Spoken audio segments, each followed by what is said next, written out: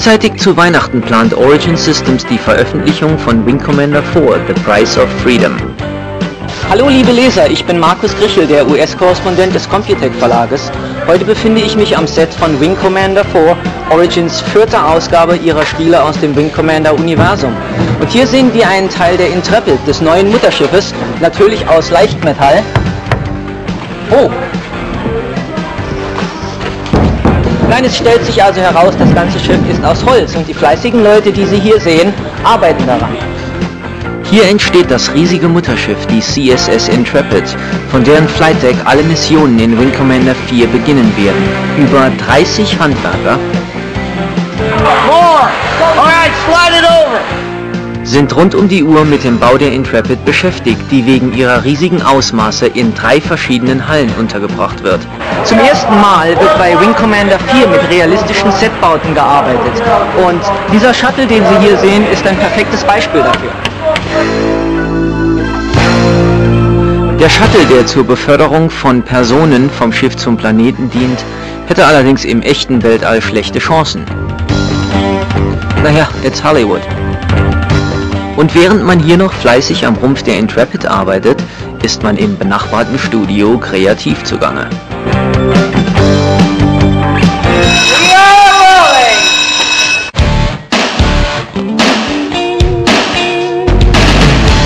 Überall bekannte Gesichter.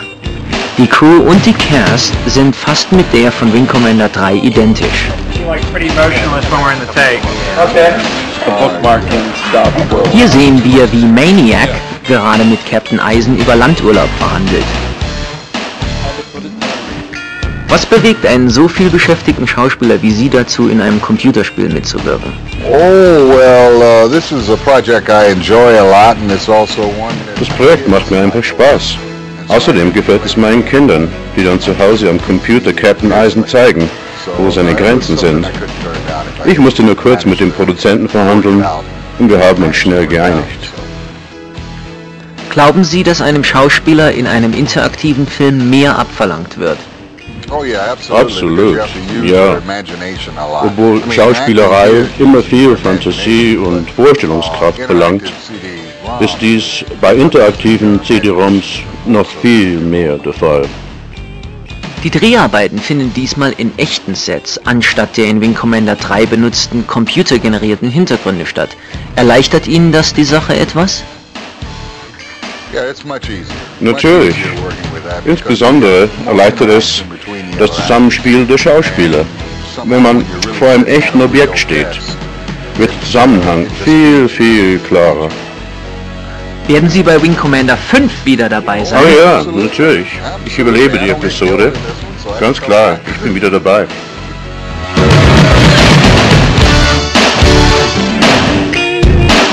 Hier wird gerade eine Beerdigung für einen Wingman vorbereitet. Maniac ist das ziemlich egal.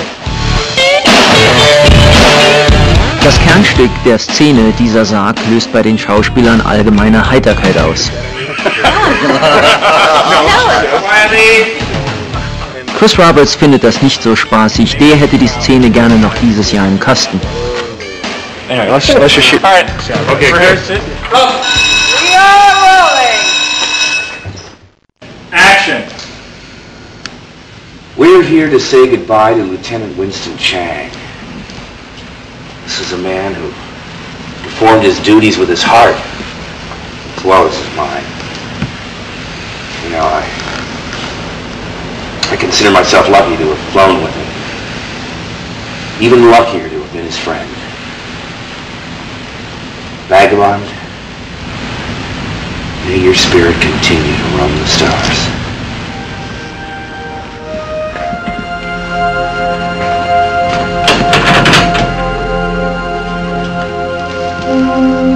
Im fertigen Schnitt werden natürlich weder die Drahtseile noch die Kulissenschieber zu sehen sein.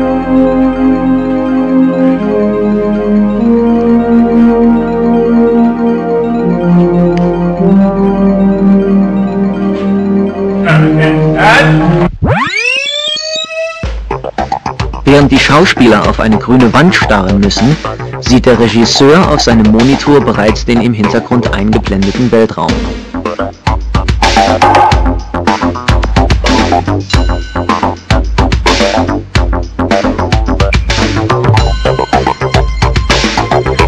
Mark Hamill wird wieder in der Rolle des Commander Christopher Blair zu sehen sein. Im folgenden Interview schildert Mark seine Eindrücke über The Price of Freedom. I think it's going to become much more commonplace in the future and uh, uh, to feel like we were Ich glaube, wir sehen hier wirklich die Zukunft. Für uns ist es unwahrscheinlich aufregend zu wissen, dass wir von Anfang an dabei waren. Wing 4 ist ein technologischer und kreativer Meilenstein, der weit über die üblichen Klischees hinausgeht. Plötzlich taucht jetzt die Frage auf, ob diese militärischen Konflikte überhaupt einen Sinn haben. Das ist sicher ungewöhnlich in einem Computerspiel. Was mich aber hauptsächlich dazu bewegt hatte, diese Rolle in Wing Commander wieder zu übernehmen, war die Tatsache, dass diese alte Nervensäge Tom Wilson nicht mehr dabei ist. Als ich hörte, dass das Studio auf Maniac verzichten wird, war ich sofort bereit, meinen Vertrag zu unterschreiben. Maniac wouldn't be in this one. Oh, really? well, I care a lot about Mark. And, um, Ich mag Mark Hamill sehr und ich, ich hoffe inständig, dass ihm noch zu helfen ist. Ich, ich hoffe Mark, es.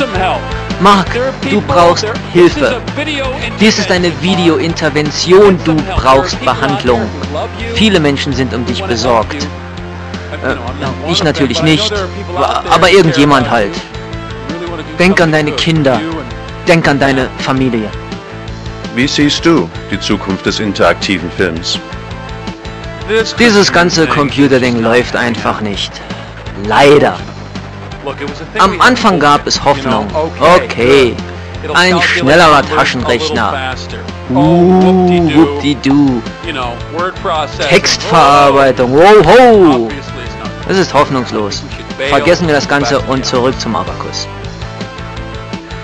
Es gibt eine Menge Wing Commander Fans, die Maniac lieber tot als lebendig sehen würden. Was sagst du zu diesen Ungläubigen?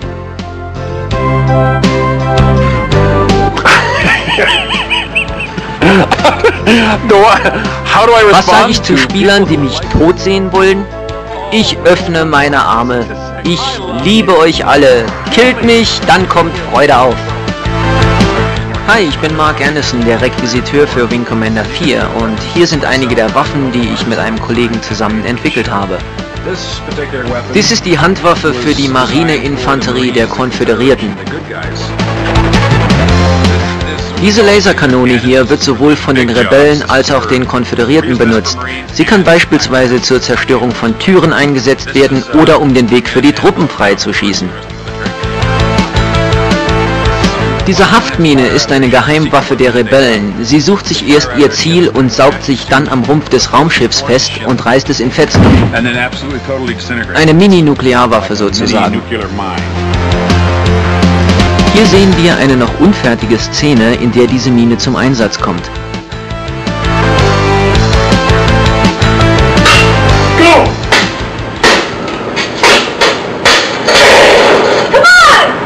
Warum Vagabond beerdigt wurde, wird in dieser Sequenz offensichtlich. Diese Drahtgittermodelle geben dem Produzenten einen Eindruck von der fertigen Szene. Die Schiffe werden später bei Origin in Texas gerendert. Ein Vorgang, der hier am Drehort zu viel Zeit in Anspruch nehmen würde.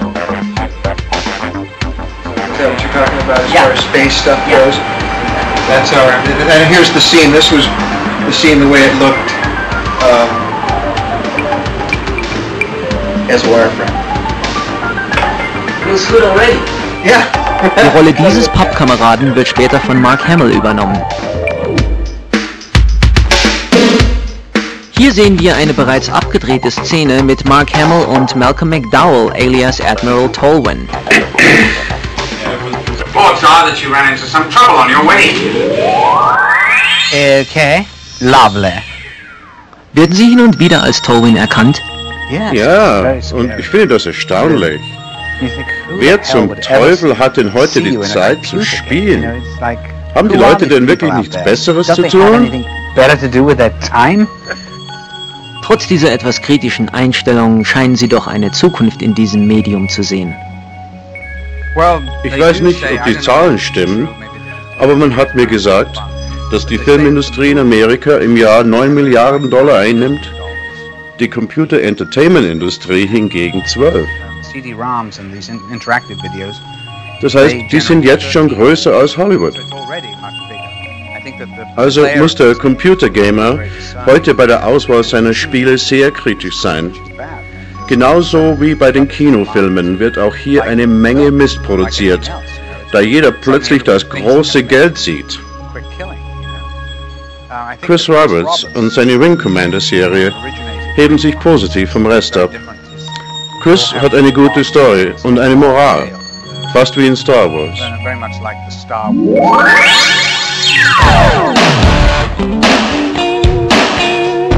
And action!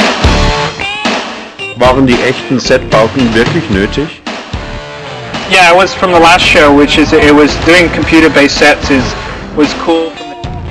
Die computergenerierten Sets in Wing 3 waren zwar cool und auch preiswert, aber sie ließen keine Kamerabewegungen zu.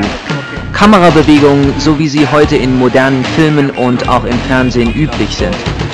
Es hatte auch den Anschein, als hättest du diesmal auf Kilrathi-Krieger verzichtet. Wir geben den Kilrathi äh, aus alter Gewohnheit einen kurzen Gastauftritt. Aber der Krieg ist nun mal vorüber und diese Geschichte dreht sich um die Nachwirkungen des Krieges, wie zum Beispiel interne politische Querelen innerhalb der Konföderation. Wie ist es dir gelungen, sämtliche Stars aus Wing Commander 3 wieder anzuheuern? Mit Geld. Außerdem hat ihm Wing 3 viel Spaß gemacht. Wird der von allen Wing Commander Fans mit Spannung erwartete Kinofilm bald Wirklichkeit werden? Wir arbeiten zurzeit am Skript und wollen nächstes Jahr mit den Dreharbeiten beginnen. Der Film wird entweder zu Weihnachten 96 oder im Sommer 97 in den Kinos sein. Es wird also mit Sicherheit einen Wing Commander Film geben. Danke. Well, welcome.